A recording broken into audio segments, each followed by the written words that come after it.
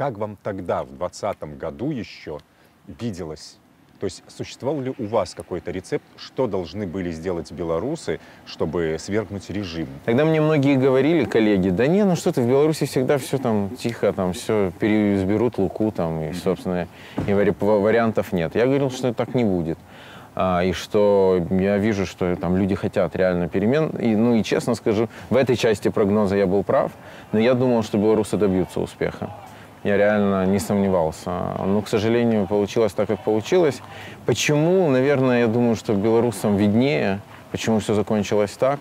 Но, конечно, я могу одно сказать, что только там мирно и только вот там своим красотой и своим там добротой такой режим, как Лукашенковский режим, э, не сменить.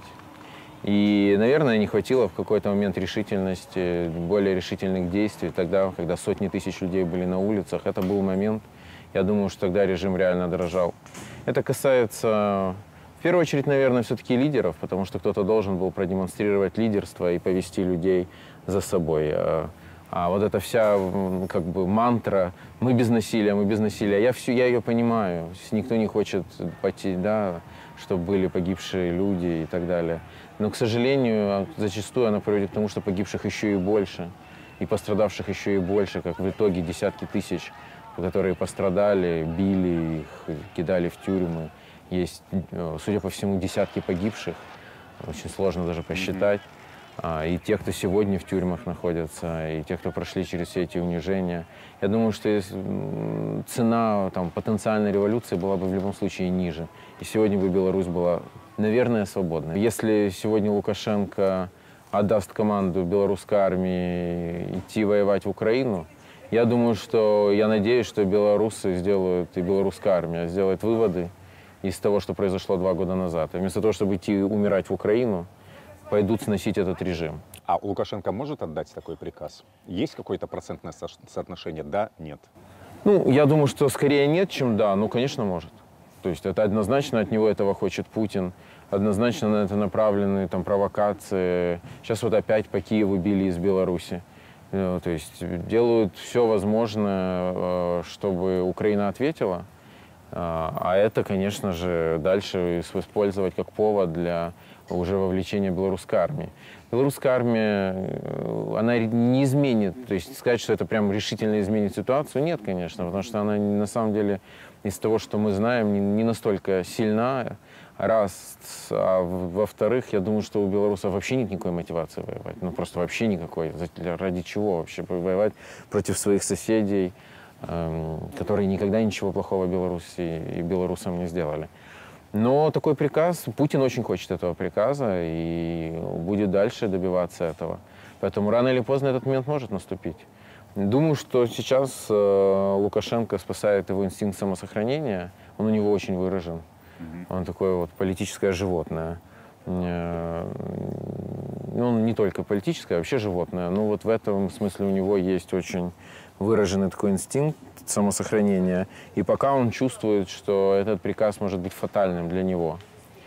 А, но мы не можем знать, конечно, чем все закончится. Но вот сейчас а, в связи со всей этой политической ситуацией белорусы, не только которые находятся в Украине, но вообще белорусы, а, испытывают на себе волну хейта со стороны украинцев. А, есть ли, видите ли вы, например, а, разграничение, как украинцы относятся к белорусам? Отличают ли они режим Лукашенко от белорусов вообще? Я вам не скажу за всю Одессу, я не скажу за всю Украину. Я не имею права говорить за всю Украину. Но я могу сказать за себя и за многих людей, с которыми я общаюсь. Конечно, люди разделяют и понимают, что режим Лукашенко – это режим Лукашенко, и от него страдает и белорусский народ э, тоже.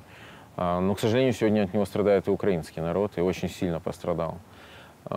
Я думаю, что я неоднократно на эту тему высказывался, и я все время призываю и объясняю, что единственный, кто радуется вот этому взаимным как бы, каким-то перепалкам, это Лукашенко и Путин, потому что это, собственно говоря, их цель разделить, э, разъединить. Это их цель, это их задача.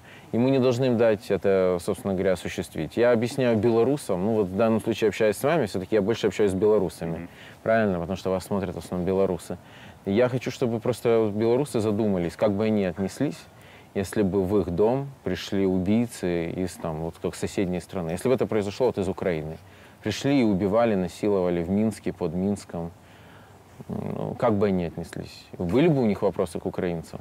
Вы э, продолжаете общаться с белорусами, которые находятся здесь, на территории Украины. В частности, это, насколько я знаю, э, бойцы э, полка Калиновского. Да. А, что это за люди? А, что это за белорусы? Что вы видите в их глазах, в их поступках, их действиях? Я им очень благодарен, потому что они сражаются сегодня э, за Украину, но главным их мотивом является, конечно же, борьба за Беларусь, за свободную Беларусь. И просто они отчетливо понимают, так же как там грузины, которые сражаются на стороне Украины, чеченцы, там, представители других национальностей, их много, что путь к свободной там, Грузии и целостной, путь к свободной Беларуси, путь к свободной Чечне пролегает э, через победу Украины. И другого пути просто нет. Они это очень четко понимают, поэтому они видят в этом шанс для Беларуси, и поэтому они здесь. А есть ли возможность, что когда-нибудь в ближайшее время, опять-таки, конечно, хотелось бы надеяться, а, украинские власти обратят внимание и на Светлану Тихановскую, законно избранного президента, который находится сейчас э, в Литве, и вступят в какие-то переговорные процессы, в контакт, они будут отмахиваться вот просто как... Смотрите, я не, опять же, каждый говорит за себя. Угу. Я встречался со Светланой Тихановской еще в марте, по-моему, 2021 года, то есть э, вскоре после событий Э, белорусской революции, которая не состоялась как революция, но была попытка ее. И эм, я поддерживаю контакт со штабом Сланы Тихановской. Эм, ну, за власть мне сказать достаточно сложно. Я вообще могу сказать, что, мне кажется, Украина в определенной мере пропустила ситуацию по Беларуси. Я тогда, два года назад, призывал, чтобы Украина была в первых рядах тех, кто добивается Э, результата и помогает белорусам скинуть этот режим. Тогда это не произошло, и, и потом как бы многие в Украине, да ну как бы мы там как-то торгуем, там вот у нас, mm-hmm. ну как-то вот как-то живем с этим режимом Лукашенко уже десятилетия, давайте как-то дальше жить.